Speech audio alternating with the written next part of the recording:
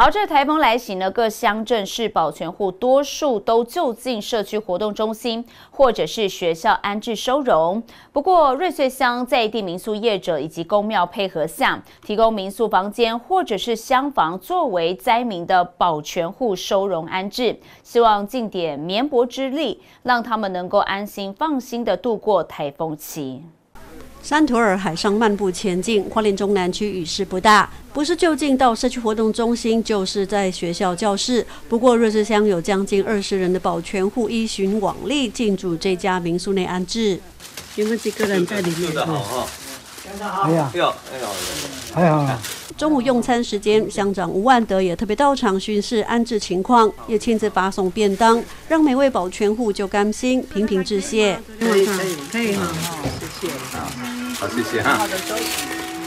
还习惯吗？还好了。在这里这样子度过台风夜有没有比较安全？有有。山图尔台风还没有进来之前，瑞穗乡降雨量就创全台之冠。除了花六十四线瑞港公路以及复原过水路面灾害，也完成强制撤离以及收容共三十九人，而其中二十人全数收容在这间民宿。业者表示，希望尽点绵薄之力，提供一个安全舒适的避难所给保全户。一般我们都认为都是在活动。中心，那那你真的生活就不是不方便了。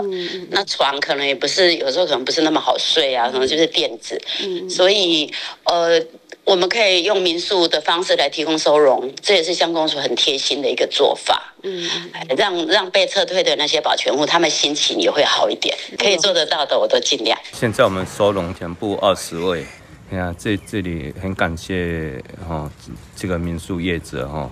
提供这么舒适的、安全又好的地方啊，来给我们收容这样。瑞士乡除了民宿，另外青莲寺也会提供厢房作为灾民安置收容的地方。乡长吴万德感谢在地业者以及公庙的支持协助。台风期间也呼吁乡亲民众随时注意台风动向，千万小心注意自身的安全。记者是玉兰，瑞士采访报道。